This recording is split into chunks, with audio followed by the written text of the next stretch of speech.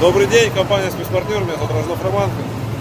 Сегодня 16 декабря, работаем на Красноярск энергосбыт.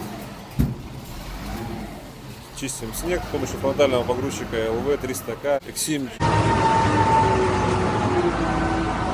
Кстати, вот представители энергосбыта, давайте спросим, как э, устраивает э, работа или нет. Да, конечно. Все вроде избирается, погода хорошая. Снег избирается здорово, погрузчик вообще класс. Все, спасибо.